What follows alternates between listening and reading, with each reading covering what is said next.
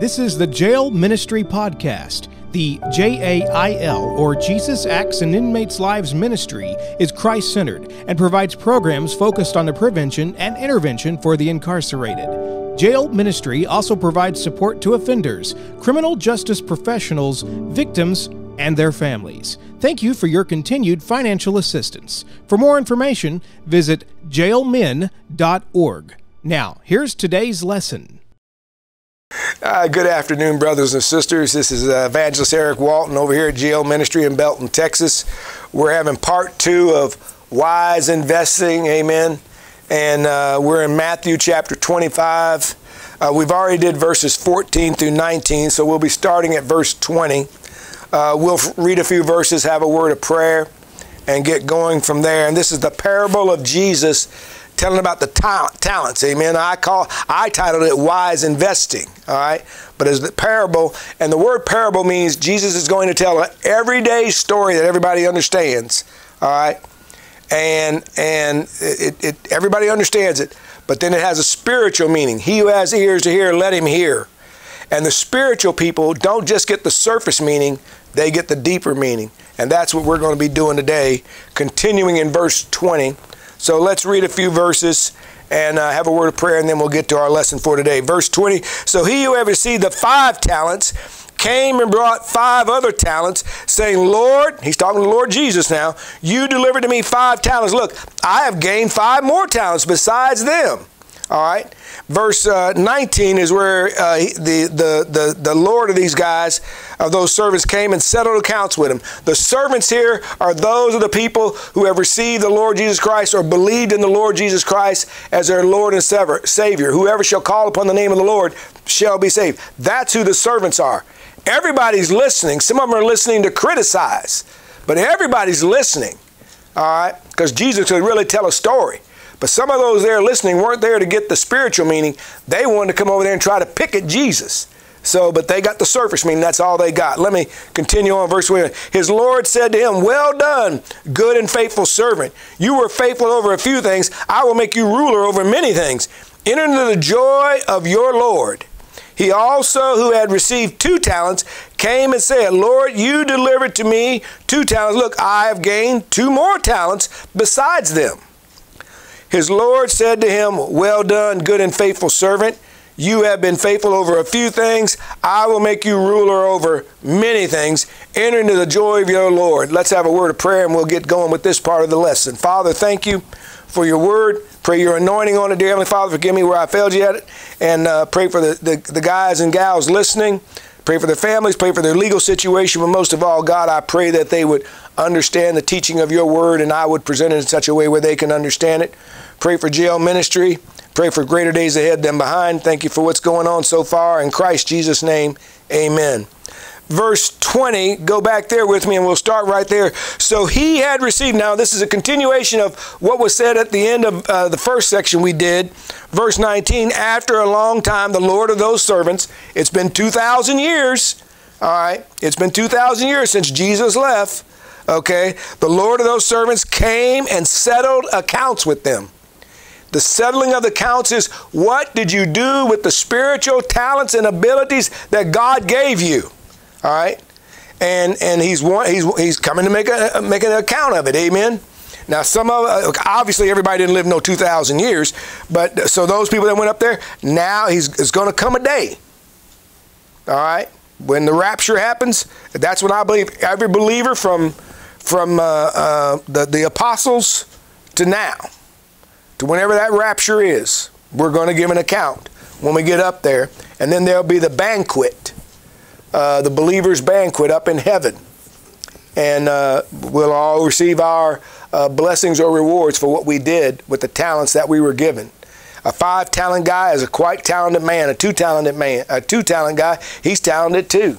One talent uh, uh, that's where I'd say I was at. Amen. And just because that one talent guy didn't do nothing with it, that isn't what I'm saying. I'm saying some of us got one talent, some of us got two, some of us may have 10.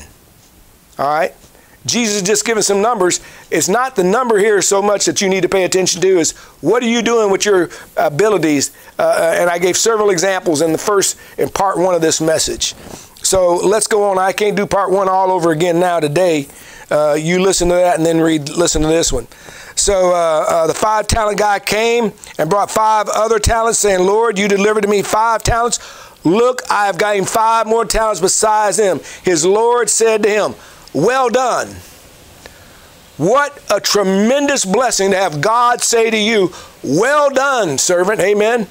Good and faithful servant. Well done. Notice he didn't say great, he said good.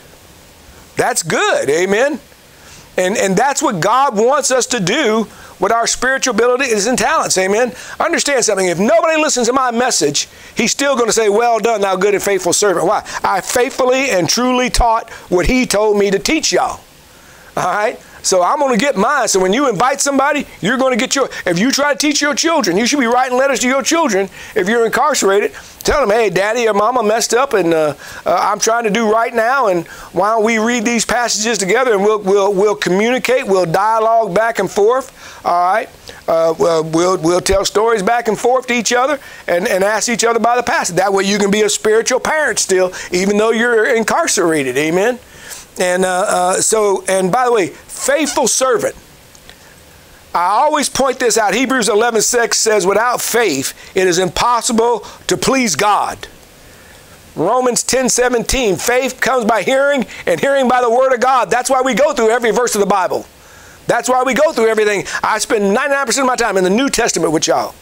And if, if I use something out of the Old Testament, I use it as an illustration to, to teach a, a, a, a New Testament uh, principle that God has put down in the Bible.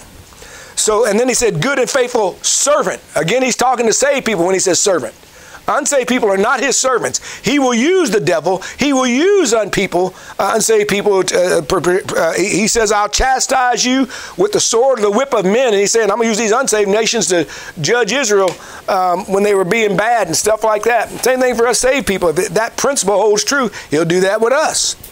You were faithful over a few things, just five things that you had to use. You resisted all this worldly, fleshly, carnal stuff and did the spiritual thing. We're not talking about you were a preacher. All right? Whatever he called you to. If you're a surgeon, you were the best surgeon. If you were uh, a, a, ditch digger, you were the best ditch digger. If you were a surveyor, you were the best one. You were faithful to a few things. I will make you ruler over many things.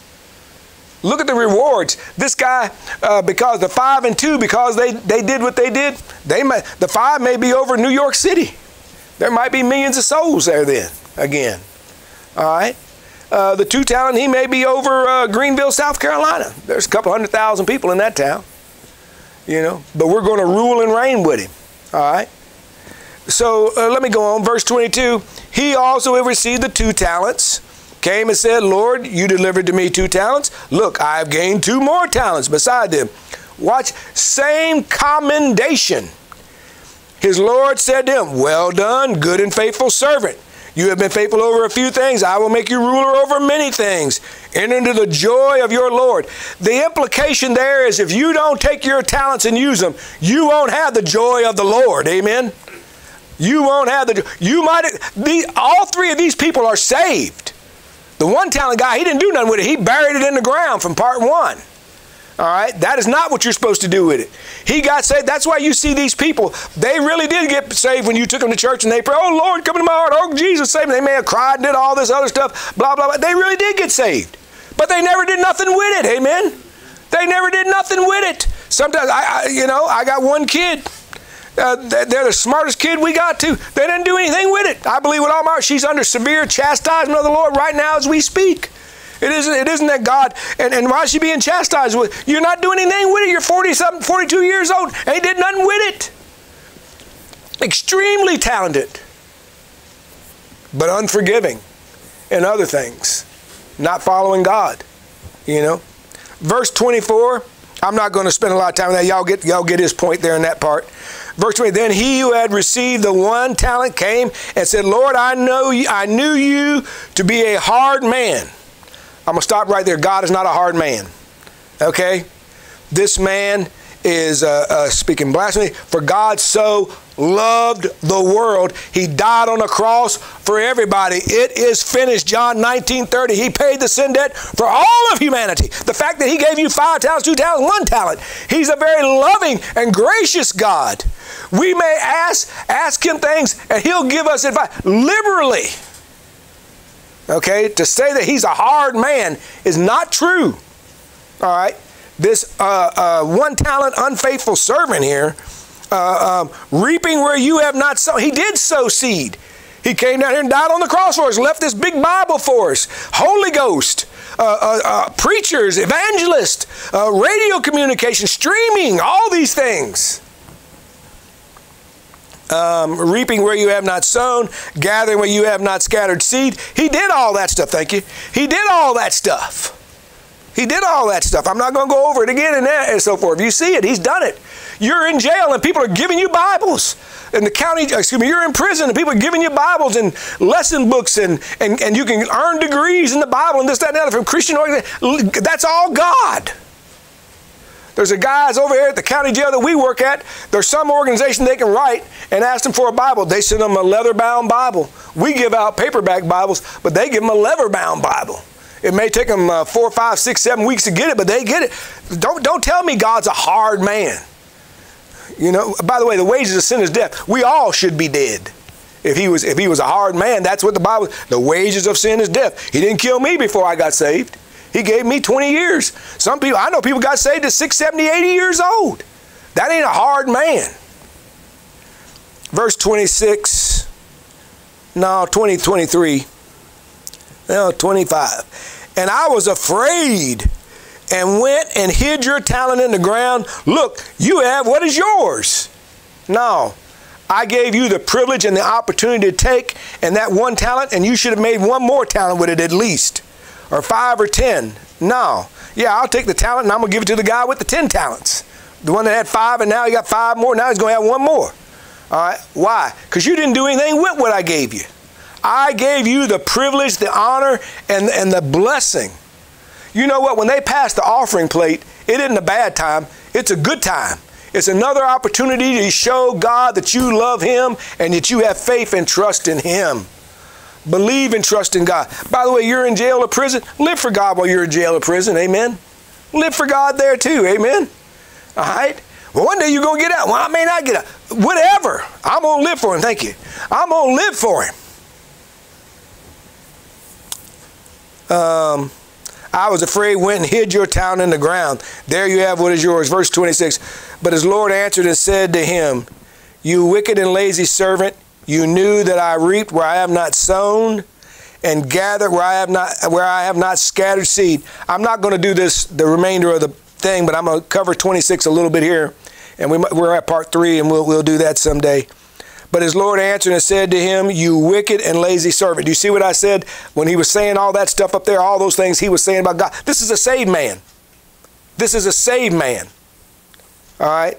There are saved people who, because they didn't spend no time studying the Bible, they didn't spend no time faithfully going to church, they went to churches that had great music but didn't necessarily have great teaching, so they know very little. And uh, uh, like they're saying, we're going to bind Satan. Nowhere in the Bible does it say you can bind Satan. The Bible says uh, the church can bind uh, certain things of, of the believers and so forth, and that's in Matthew 18 talking about discipline. We're not going to bind Satan. Some of these people are going to bad churches that teach false doctrine or confused doctrine. By the way, sometimes they're teaching it and they don't realize that what they're teaching is unbiblical or untrue. They're ignorant. It's your responsibility. If you ask God, God, send me to a church that teaches the Bible right, God will do it because He's faithful. God this, God that. If you just ask Him, He'll do it. God, help me quit coming. I get all these crazy prayer requests, and I'm like, why don't you pray to God and ask Him to quit letting you come to jail? Why don't you ask God to deliver you from your sins? You up here, oh, pray for my kids, pray for this. Well, if you weren't in jail, you could go take care of your kids. You could, you could keep your marriage. You could, you could help in your community. You could do this, that, and the other. Why don't you pray for that? Quit, quit causing me. God, help me quit doing all these sins. And uh, God bless you. I love you. I pray you're listening. We got one minute. We'll do part three if my friends got time to tape it today. And uh, Um, let's pray. Father, thank you for your mercy and grace. If you're not saved and you want to make sure you're saved, pray to God and ask something like this Dear Heavenly Father, I believe in you. I believe in Jesus. I believe in his death, burial, and resurrection. And I believe it was for me. Please save me. Please help me use my talents the way you want them used. In Christ Jesus' name, amen. God bless you. We'll see you next week.